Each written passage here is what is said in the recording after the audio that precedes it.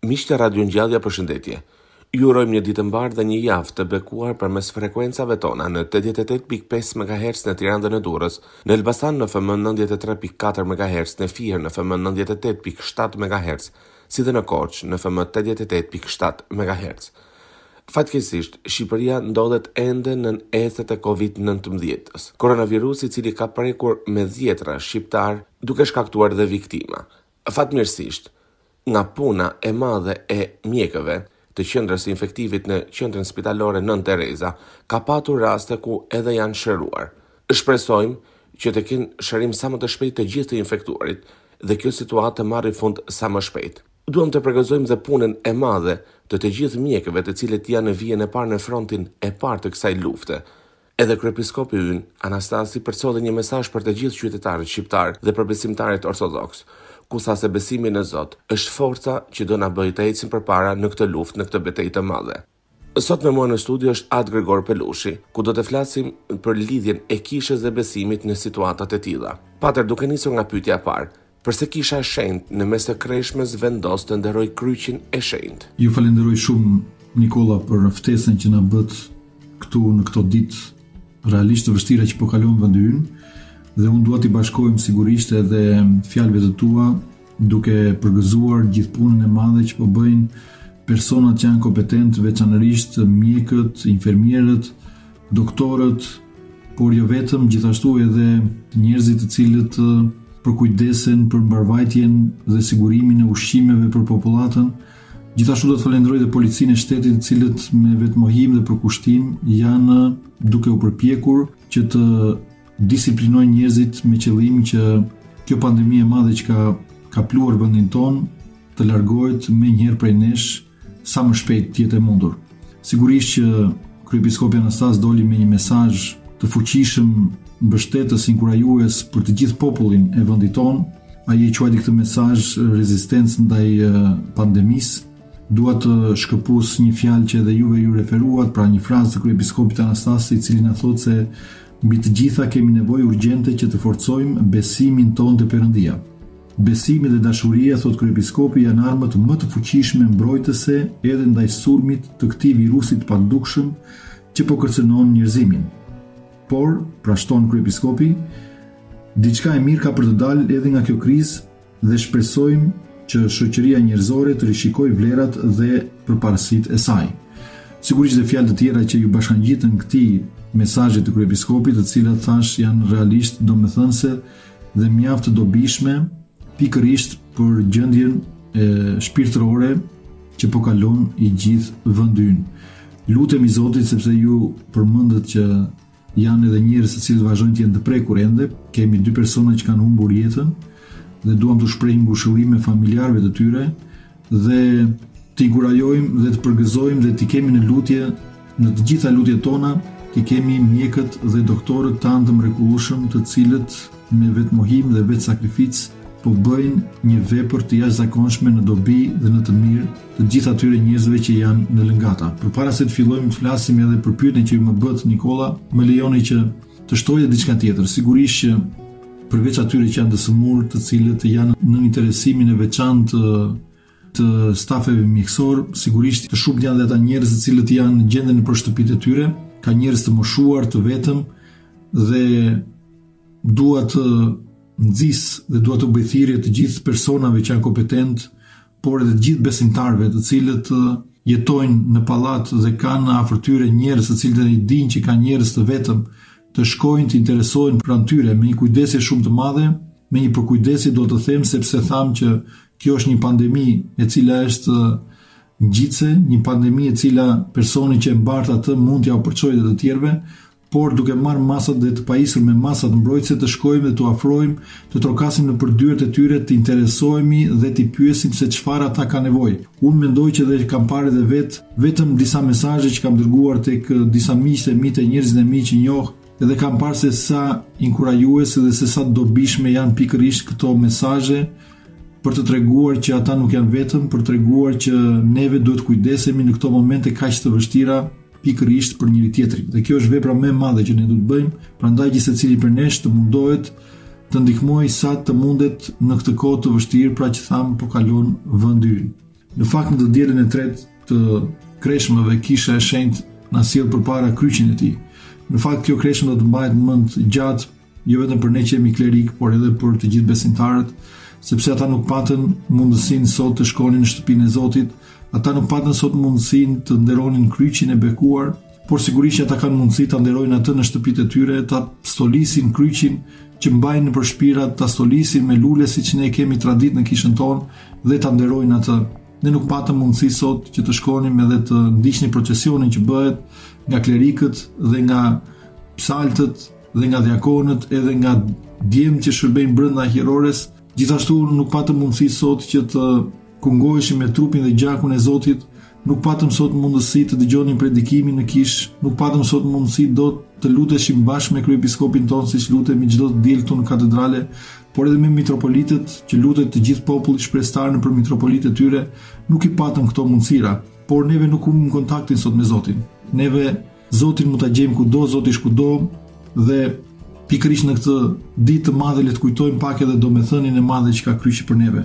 Unë dua të kujtoj të gjithëve që kryqi i cili sigurisht në kohët e lashta njerëzit e barazonin kryqin me dhimbjen, me mundimin, me vdekjen, Kryqi ishte një shenjë e torturës më të tmerrshme që mund të provonte njeriu.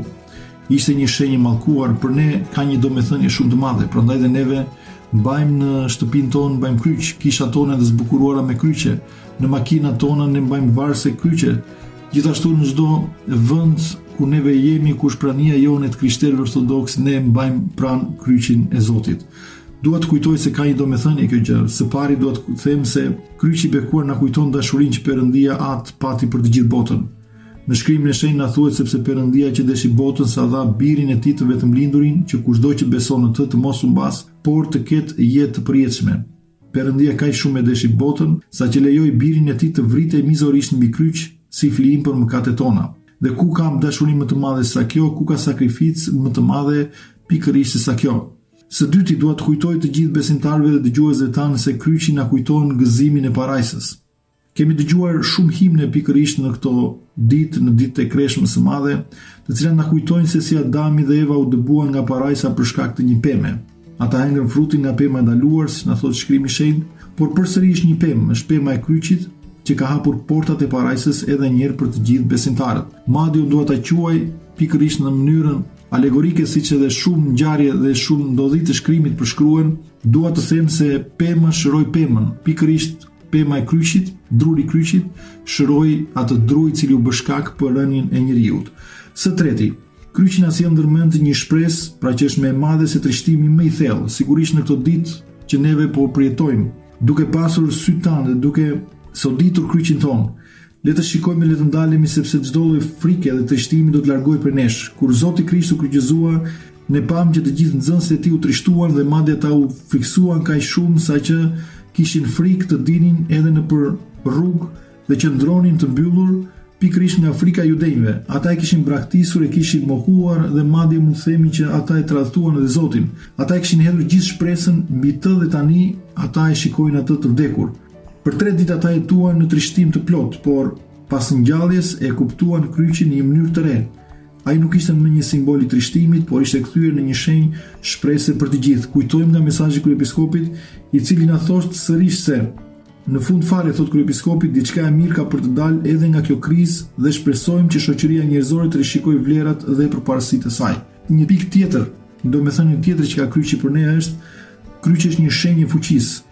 Shpeshherë nëpër botë ashtu si edhe sot në Shqipëri, duket se e keqja e mund mirësinë, ndërsa kryqi na kujton se mëkati nuk do të ketë fjalën e fundit. E keqja nuk do të zgjasë në përjetësi. Për ne të krishterët ortodoksë, kryqi dhe ngjallja janë të pandara nga njëra tjetra. Madje siç thotë dhe kryepiskopi Anastas kujtoj sërish atë frazën e tij të famshme e cila është thënë në një nga mesazhet e Pashkës, Pikërisht kujtoj vitin një mijë e nëntëqind e nëntëdhjetë e pesë, kur kryepiskopi Anastas na thotë se ngjallja nuk është diçka që vjen pas kryqit, ngjallja gjendet brenda në kryq, kur e pranojmë lirisht si Krishti Perëndia ynë. Së fundi, kryqi është simbol i fitores, nëpërmjet vdekjes së Isuit në kryq, e keqja më e madhe, vetë vdekja u shkatërrua. Kur Isui vdiq dhe hyri në hadh, u drodh vetë djalli. Kryqi, ai simbol i keq, u bë vetë mjeti për të shkatërruar fuqinë e ferrit. Prandaj dhe neve psalim solemnisht nëpërmjet përlëshores në këtë ditë, duke thënë, O Zot, shpëtoje popullin tënd dhe bekoje trashëgimin tënd, dhuroju shprestarëve fitore mbi barbarët dhe ruaje shtetin tënd me anën e kryqit tënd. Ndoshta barbarët e sotëm dhe ata që Mund të kuptohen sot është pikërisht kjo pandemi, kjo fatkeqësi e madhe që i ka rënë gjithë njerëzimit anembanë. At Grigori, meqenëse jemi në këtë situatë, a mos duhet që besimtarët ta ndërpresin Kreshmën gjatë këtyre ditëve? Nikolla, të falenderoj për këtë pyetje, në fakt unë dua të inkurajoj dhe të nxis të gjithë besimtarët tanë sidomos tani në këto momente kur ata kanë më shumë kohë të kujdesen për familjet e tyre, jo vetëm që nuk duhet ta ndërpresin kreshmën, por duhet që të shtojnë më tepër kreshmimin, por edhe lutjen të gjithë së bashku si familje. Ndoshta tani më shumë se kurrë në këto ditë ku neve kalojmë shumë orë pranë njëri tjetrit. Të kujdesemi që jo vetëm ne që jemi të rritur, prindërit, por edhe fëmijët bashkë me ta të mundohen të krijojnë një disiplinë shpirtërore, një disiplinë sipas mësimeve të kishës. Ndoshta shumë njerëz më shkruan dhe më thoshin se si dhe më tregonin me keqardhje se si nuk do jenë të dielën dhe unë i nxisja ata njerëz të cilët m'i dërgonin këto mesazhe duke u thënë se ku ka më mirë që shtëpinë tonë ta kthejmë në kishë pikërisht në këto ditë. Prandaj, edhe në qoftë se ne kemi neglizhuar në gjithë këto ditë të kreshmës, pikërisht të nisim nga ky moment kurrë nuk është vonë, ne të nisim kreshmën siç na mëson Zoti sepse nuk ka asnjë motiv që të ndërpritet kreshma, sepse nëse dikush shkon në punë apo ka një punë të vështirë, nëse dikush duhet të punojë me orë të gjata dhe ka lodhje të madhe, sigurisht diçka mund të justifikohet te ky person, Por tani që neve jemi shumë të çlodhët, jemi pak orë në punë dhe kthehemi shumë shpejt nëpër shtëpitë tona, tani është më tepër se kurrë mund të përkushtohemi më tepër në jetën tonë shpirtërore. Prandaj ju bëj thirrje të gjithëve, të gjithë besimtarëve tanë, të gjithë dëgjuesve tanë, të gjithë të krishterëve, të cilët duan të marrin pjesë në këtë udhëtim dhe jo më kot kisha e shenjtë e bekuar vendos kryqin në javën e tretë të kreshmëve për t'i inkurajuar, për t'i forcuar besimtarët, për të treguar që Nëpërmjet vështirësive, nëpërmjet sakrificave mund të arrihet pra të marrim pjesë në ngjalljen e Zotit. Kështu që me shumë dashuri, me shumë butësi u sugjeroj dhe këshilloj të gjithë besimtarët tanë që të forcojnë adhurimin, të forcojnë në kreshmën e tyre, disiplinën e tyre shpirtërore, në këto ditë të vështira që po kalon vendi ynë. E qartë. Pater çfarë duhet të bëjnë besimtarët në kushtet kur ata nuk mund të shkojnë në kishë? Unë e përmenda Nikolla që duke thënë se ne nuk patëm mundësi këtë të diel të shkonim në shtëpinë e Zotit, por kjo nuk do të thotë se neve humbasim kontaktin me Zotin dhe Perëndinë tonë. Perëndia është kudo, Perëndinë mund ta gjejmë në çdo vend ku neve ndodhemi, Unë dua të them se dhe shpresoj dhe i lutem Zotit që sa më shpejt të dalim nga kjo situatë, por në këto kushte të tilla kur neve duhet dhe jem, duke qenë se jemi qytetarë të përgjegjshëm, duke qenë se të krishterët përgjatë gjithë shekujve kanë vepruar me shumë përgjegjësi, jo vetëm për t'u kujdesur për veten, por edhe për t'u kujdesur për të gjithë të tjerët, ku neve tani mund të bëhemi dhe shkak dhe mbartës të këtij virusi dhe mund të infektojmë dhe të tjerët në këto kushte. Neve duhet së pari, pikërisht në statusin tim të Facebook-ut hodha disa ide se si ne mund ta zëvendësojmë mungesën tonë duke mos shkuar në kishë. Edhe dua t'i sjell për të gjithë dëgjuesit pikërisht edhe nëpërmjet audios në Radio Ngjallja. Nuk shkon në kishë, lutu në shtëpi. Lexo shkrimin e shenjtë. Dëgjo Radio Ngjallja. Lexo jetë shenjtorësh. Bëhu kishë. Ruaj urdhërimet e Zotit. Kalo kohë cilësore me familjen tënde. Pikërisht këto janë disa nga këshillat që ua këshilloj të gjithë dëgjuesve edhe besimtarëve të Kishës sonë Ortodhokse. At Grigori një pyetje të fundit, si duhet të veprojnë të krishterët përballë kësaj situate? Mendoj se Nikolla kjo është një pyetje shumë e drejtë e cila meriton vërtet një vëmendje të madhe dhe një përgjigje të duhur. Unë dua të shpreh dhe dua të them se bota moderne sot papritmas po përballet me tmerrin ekzistencial dhe frikën e vdekjes së pashmangshme të pakuptueshme. Asnjë vaksinë deri më tani apo antibiotik nuk mund të na shpëtojë dot për momentin, për shkak se kjo përvojë ishte panjohur për njerëzit modernë duke shkaktuar pasoja të mëdha siç e thamë edhe në fillim si nga ana shpirtërore, psikologjike dhe kulturore, Pra nënkuptoj pandeminë aktuale të koronavirusit Covid nëntëmbëdhjetë. Përballja me epidemitë dhe kjo është shumë e rëndësishme për të theksuar për të gjithë besimtarët, nuk është e panjohur për Kishën e Shenjtë. Përgjigja e Kishës së Shenjtë ndaj këtyre plagëve që shkaktojnë këto epidemi frymëzohet nga mësimet e vetë Zotit tonë.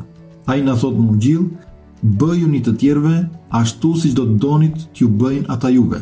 Gjithashtu diku tjetër Zoti thotë, Duaje të afërmin tënd si veten tënde. Madje ai thekson se kjo është porosia më e madhe. Dhe diçka tjetër që Zoti thotë, e cila ka shumë rëndësi për të gjithë neve, është që askush thotë Zoti nuk ka dashuri më të madhe nga kjo, të japë jetën e vet për të afërmit e tij.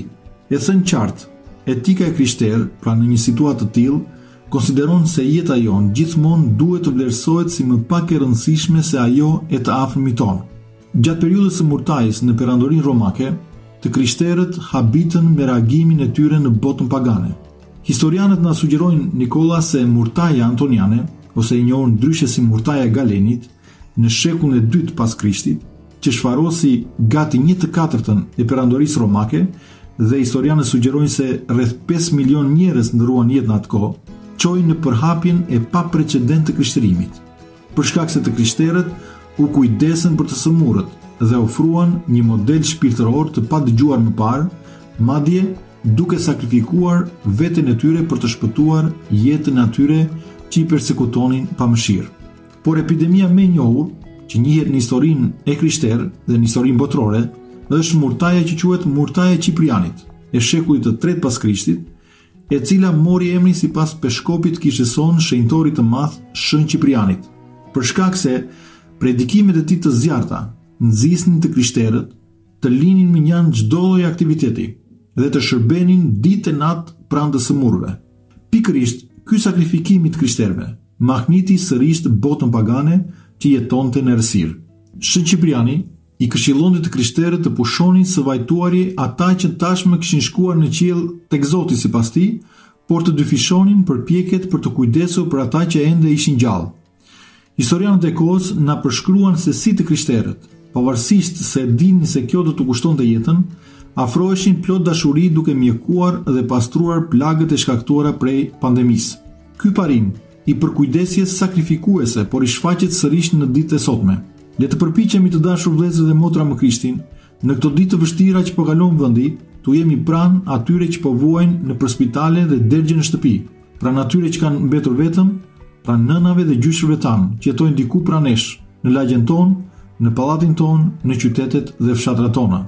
Le të shkojmë dhe të ndihmojmë të varfrit, të cilët nuk kanë mundësi të sigurojnë bukën e përditshme, gjërat e domosdoshme për mbietesë. Kjo është vepra më sublime që çdo i krishterë i vërtetë duhet të bëjë pikërisht në këto momente. Dhe dua të theksoj gjithashtu, se në këto kohëra dhe në këto momente nuk është koha për demagogji, por për veprim konkret. Dua të theksoj, të nderuar dëgjues, që nëse ne do të vazhdojmë për disa të diela që të mos kemi mundësi dot që të shkojmë në kishën tonë, në shtëpinë e Zotit tonë, atëherë le të përpiqemi që herët në mëngjes, çdo të diel dhe çdo të kremte të madhe që kemi, Të çohemi, të zgjohemi që herët bashkë me familjet tona, bashkë me fëmijët tanë dhe të marrim pjesë në lutjen që do transmetohet nëpërmjet valëve të Radios Ngjallja dhe faqes së Kishës Ortodokse dhe faqes sërish të Facebookut të Radios Ngjallja. Dhe gjithashtu, dua t'ju nxis që në fund kur të mbarojë shërbesa, meqenëse nuk keni mundësi të merrni dot kungimin e shenjtë, të merrni pak ajazëm, pra të konsumoni pak ajazëm, por kjo të jetë e shoqëruar gjithmonë me lutjet duke ndjekur shërbesën madje ju sugjeroj që të jeni gjatë gjithë kohës në këmbë pikërisht është momenti që ne duhet të shtojmë më tepër përpjekjet tona pikërisht është momenti që ne duhet të mendojmë pak më thellë për jetën tonë ky lloj demoni thotë Zoti del vetëm nëpërmjet agjërimit dhe lutjes le të lutemi vëllezër dhe motra më Krishtin që sa më pak të kemi viktima Sa më pak të kemi dhimbje dhe lot dhe i lutemi Zotit që sa më parë të kthehet normaliteti për të gjithë popullin tonë. Miq të Radio Ngjallja, kemi ardhur në fund të emisionit për sot. Qëndroni me programin tonë në vijim. Bashkë, mirudëgjofshim.